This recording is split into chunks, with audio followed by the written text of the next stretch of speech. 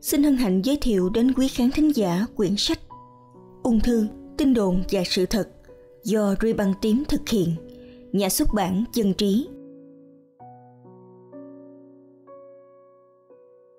Tin đồn số 39 Thiếu oxy là nguồn gốc ung thư và tăng oxy máu là cách điều trị ung thư đúng đắn.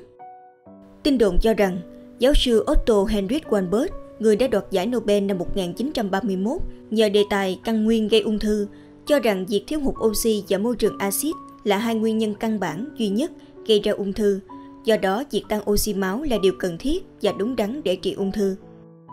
Sự thật là, giáo sư Weinberg không đoạt giải Nobel nhờ công trình nào tên là căn nguyên gây ung thư hay tương tự, mà nhờ công trình khám phá về bản chất và phương thức hoạt động của các enzyme hô hấp.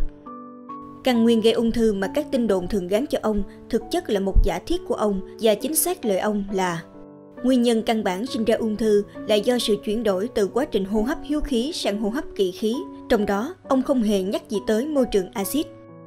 Giả thiết này đến nay đã không còn đúng nữa. Các nhà khoa học quan sát thấy rằng sự thiếu hụt oxy vừa có thể là kết quả, vừa có thể là một trong những tác nhân gây nên ung thư. Đứng ở góc độ sự thiếu hụt oxy là kết quả của quá trình nảy sinh ung thư có thể giải thích như sau. Vì tế bào ung thư phát triển rất nhanh nên chúng rất cần năng lượng, cộng với việc nguồn năng lượng chủ yếu của tất cả các tế bào, kể cả tế bào ung thư, là thông qua quá trình chuyển hóa đường. Và oxy là chất cần thiết để chuyển hóa đường thành năng lượng bằng con đường hô hấp. Vì thế, để cung cấp đủ năng lượng, tế bào ung thư cần hô hấp rất nhiều, tức dùng rất nhiều oxy trong máu, khiến cho lượng oxy trong máu tụt giảm rất nhanh sau khi đi qua chúng.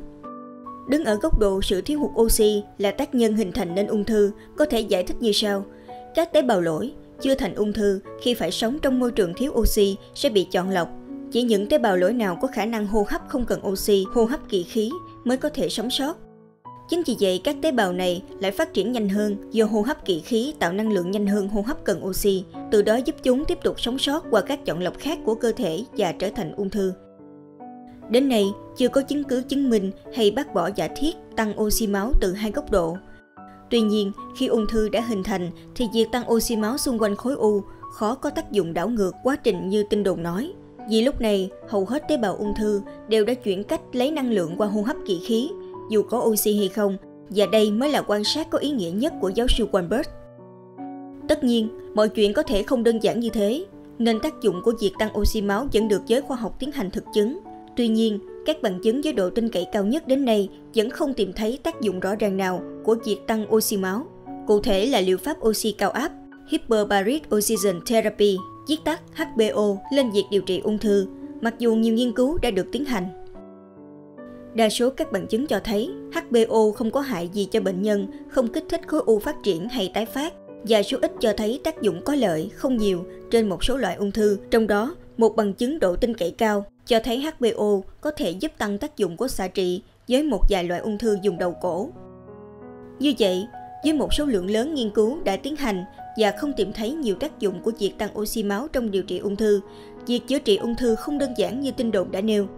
Tất nhiên, giới khoa học vẫn khuyến khích bệnh nhân và cả người chưa bị bệnh bổ sung oxy một cách tự nhiên thường xuyên bằng cách tập thể dục ở nơi có không khí trong lành mỗi ngày. Vì nhiều tác dụng khác như tăng sức đề kháng, duy trì cân nặng hợp lý hay giữ tinh thần vui vẻ để phòng chống ung thư. Sự thật, việc tăng oxy máu không phải là cách điều trị ung thư. Thạc sĩ Nguyễn Cao Lương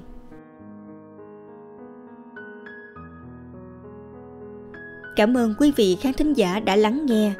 Sách nói, Ri bằng tím, ung thư, tin đồn và sự thật. Kính chúc quý vị nhiều sức khỏe, an khang. Xin chào và hẹn gặp lại.